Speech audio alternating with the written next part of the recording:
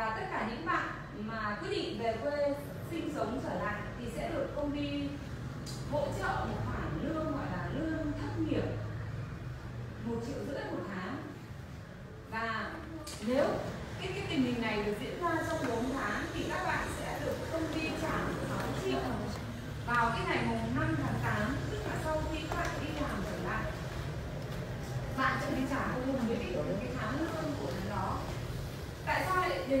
đó mới trả tại vì tại thời điểm này nếu thực sự để trả lương, mua không có tiền.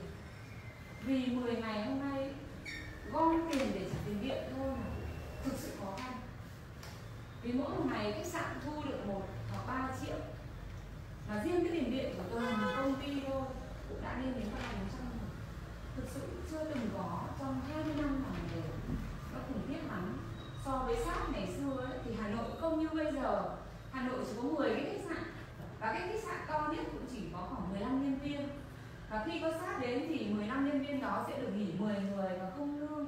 Còn 5 người thì đi làm đủ tháng lương nhưng nhận 20% lương.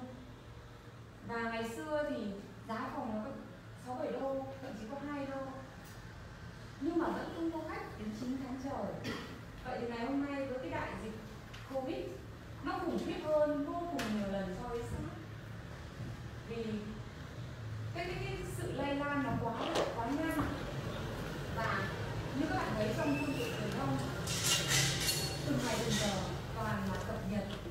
Số ca lây nhiễm và số người tử vong. Ví dụ, ở Iran, có 20 người lây nhiễm thôi mà bây giờ 8 người chết rồi. Trong vòng một tuần là người ta mất cả sinh mạng.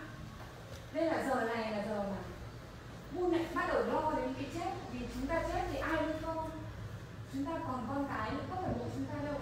Nhất là các chị, các các mẹ ở đây, đúng không? Cả làm cha nữa, lo lắm. Cho nên là cái cái cái mức chi trả này của công ty.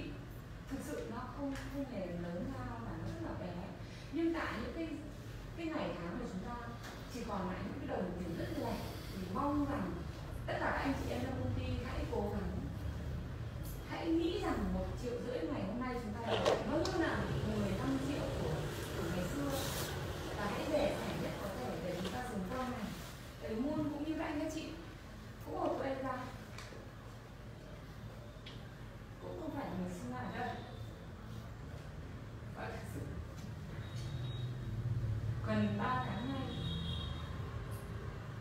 tổn thất hơn 20 tỷ đây là một con số, nó là cả một cuộc đời mình tích góp chứ không phải là theo kiểu như các ngành nghề quần áo, giày dép hay là các vật dụng, mình không bán được thì mình đóng cửa mình cất trong kho xong rồi mai hết dịch bệnh thì mình bán tiếp còn những người bán hàng không bán thì thôi đóng cửa người ta cũng không phải trả lương chúng ta không như vậy chúng ta là hàng hóa khác một ngày mở mắt ra phòng không được bán, phòng đó vẫn phải chi trả. Nên là nó, nhiều người người ta cũng hàng ngành này, người ta người ta nói nó rất là vô cảm. Nhưng chúng ta sống trong ngành này, chúng ta buộc phải hiểu. Cái nỗi đau của chúng ta mà chúng ta không thể chia sẻ được. Nên rất là mong các anh các chị ở đây hãy cùng mua để sống đè sẻ trong thời gian này một triệu rưỡi đấy nếu mà bạn kỳ khi nào mua, thấy rằng giải quyết ổn thỏa được cái tài chính để có thể trả cho mọi người thì mua sẵn lòng để cho bộ phận kế toán sẽ sẽ làm việc.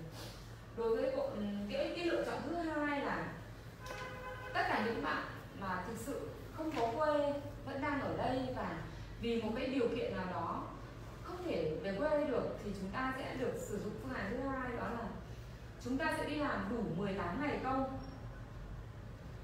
và được nhận 4 triệu đồng. Giờ phút này không còn chức vụ nữa, không còn phân biệt danh giới của sếp với nhân viên nữa. Bây giờ là lúc chúng ta phải sống như nhau, phải được đối xử như nhau. Bếp trưởng 20 triệu bây giờ cũng nhận 4 triệu, mà nhân viên beo 4 triệu rưỡi bây giờ cũng nhận 4 triệu. Vì đấy là cái 4 triệu. Muốn cân đối, mọi người có thể đủ ăn để sống qua. Ngày vì bây giờ cũng không phải đóng học các con nữa. Đối với những gia đình nào con đang học vì có được đi học đâu mà đóng, đúng không? Cho nên là hãy hãy cố gắng.